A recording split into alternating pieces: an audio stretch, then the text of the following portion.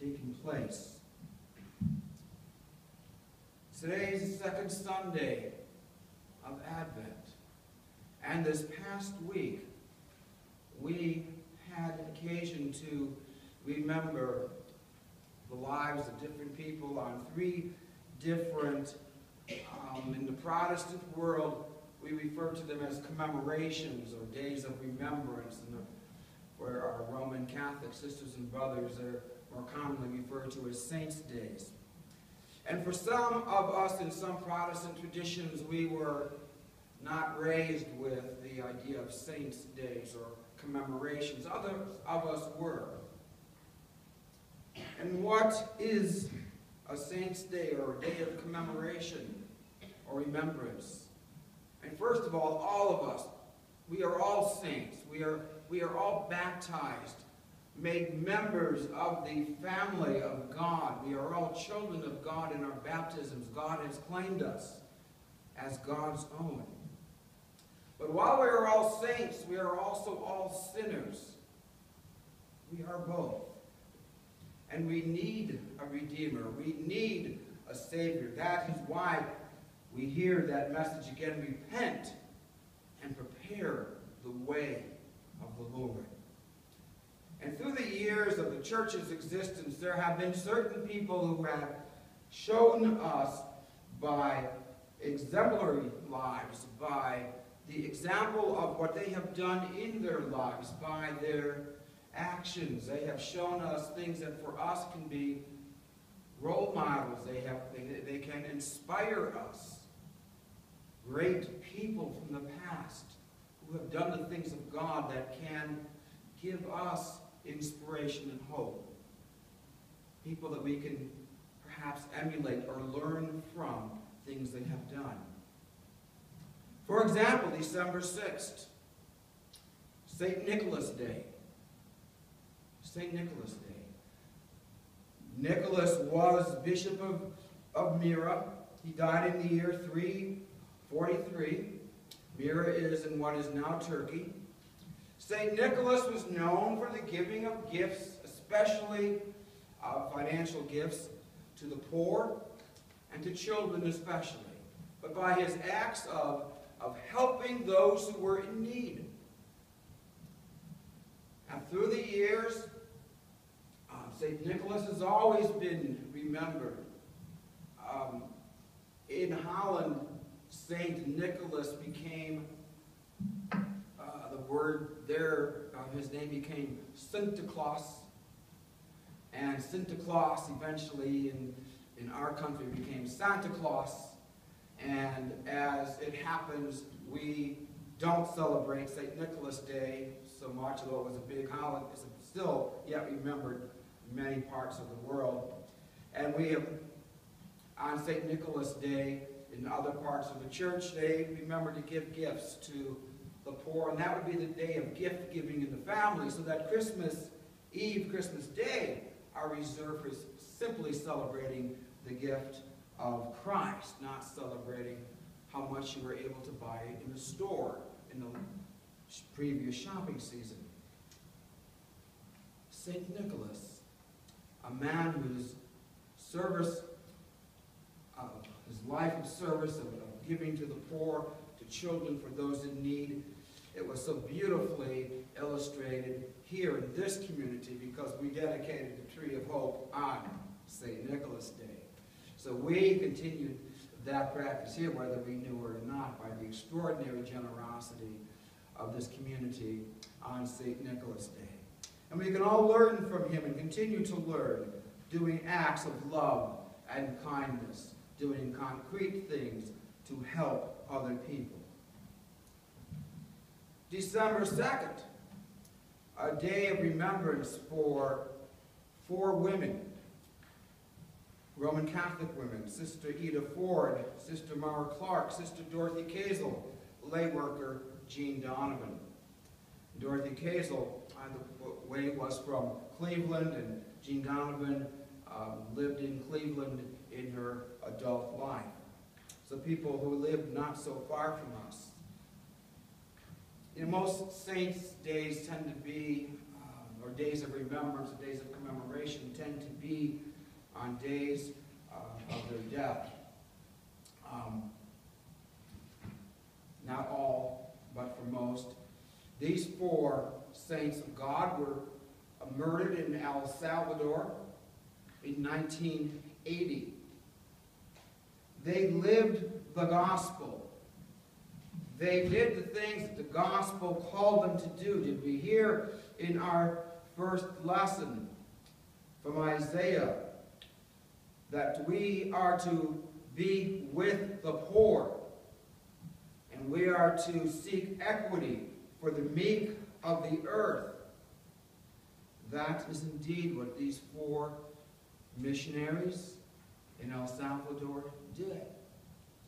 They were with the poor, advocates for the poor, assisting the very, very poor people in, in Salvador, while those who were in the ruling government who wanted it all for themselves embarked on a campaign of, of violence against um, the church, because the church was bearing witness for the poor. They had killed the um, Archbishop Oscar Romero earlier that year as he stood at the altar celebrating communion. They, they shot him with a sniper's bullet. On December 2nd, these four faithful women were terrorized, abused, and then killed by the forces of the, of the government, that the ones who were oppressing the poor. They were faithful to the end, doing the things of God, and we can take inspiration from their lives. And we had a new Saints' Day added to our calendar this week. December 5th, the day of the passing of Nelson Mandela. We have been privileged to have lived in a time of Nelson Mandela. And there is not sufficient time this morning. We could go this morning, this afternoon, this evening, and into the next day talking about the greatness of Nelson Mandela. I'll simply say that he did the work of God in this world more than most anybody I know. He was in prison for 29 years on that island in the hot African sun, forced to, in his crime, was advocating for democracy, advocating for equality for all people. And the government of South Africa that he fought against, the apartheid government, was one of the most evil governments in human history, and I think since World War II, the most evil government that there was in the world. And we can we could debate that point, except I find them particularly heinous because the um, white ruling oppressors of, of the government in South Africa used our God to justify their repression. They used our scriptures to justify what they did. They said that the scriptures indicated that they, the white Europeans, were superior. Were called by God to be superior, and that God had made the Africans and those of mixed races and the Asians to be inferior to the whites. Hard to believe that the scriptures were used in such a way, but they were. Nelson Mandela was in prison for 29 years for seeking democracy for all people and the way the government, the apartheid government of South Africa, kept the vast majority of people who were African, mixed races, or um, Asian subjugated was brutal, it was vicious. Two great men, Archbishop Desmond Tutu and um, Nelson Mandela, fought against that. and Mandela was kept on an island for 29 years. And those of us who were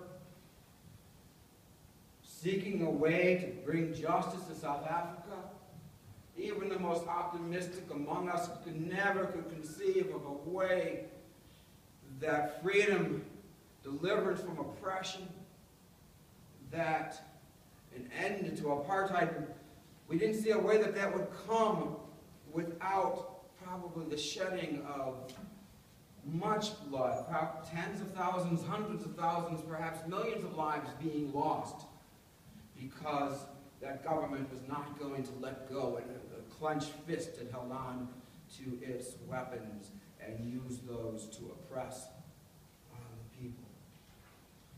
But enough pressure was brought to bear. Nelson Mandela was re released from, from jail, from that island, in 1990. He, was, he said that as he walked out of that prison, he knew that if he hung on to his hatred and bitterness, he would forever be in prison. So he walked out and let the hatred and bitterness go. And he loved his enemies. He loved those who had jailed him. And he said, we must have a South Africa where all are welcome. We must not have, there is no time for revenge or bitterness or recrimination. This is a time to move forward. Uh, sometimes in our own lives, we get mad at somebody, a slight, uh, some we perceive an insult, somebody's done something maybe really wrong to us, and we carry that with us for so long, sometimes our whole lives. If Nelson Mandela could forgive 29 years on that island and the systematic oppression of his people for generations, and we hang on to the things that we get upset with other people about, Nelson Mandela was able to transition South Africa from that apartheid system to a democracy without violence It's the most astounding thing I've ever seen in my life. Without violence, the only other thing that comes close is the fall of communism, which also happened without a shot being fired. God does work in this world. As the scriptures say, do you not perceive it? God is at work. God delivers his people. As Psalm 27 says, we see the goodness of the Lord in the land of the living. Nelson Mandela, known to his people as Madiba, always had the spirit of reconciliation, a love for all people, which made South Africa a place where there could be equality for all people. And how, how was he able to do this? By God's grace? By putting away thoughts of revenge, of retribution, of all of that. You know, one of his favorite poems was one you all know, Invictus by William Ernest Henley. I'm just going to read to you the last stanza. It matters not how straight the gate, how charged with punishments the scroll. I am the master of my fate. I am the captain of my soul by God's grace, we can control ourselves and our emotions. And if we do that which God has called us to do in our own time, we have seen in South Africa the wolf laying with the lamb, the leopard lying down with the kid. In our own time in South Africa, due to the work of Nelson Mandela, we have seen the calf and the lamb and the fatling together. We have seen this in our own time. We have seen this in our own time. Would, would the world be different today if we all, if we all lived life following the examples of these people, Nicholas Ita Ford, Nora Clark, Dorothy Kazel, Jean Donovan, of Nelson Mandela. We hear the call today on the second Sunday of Advent to repent and prepare the way of the Lord. If we do that, we do that with joy, we will be able to live. Amen. The peace of Christ, which passes all understanding, keep your hearts and your minds in Christ Jesus now and forever. Amen. We'll continue our worship with the hymn with joy.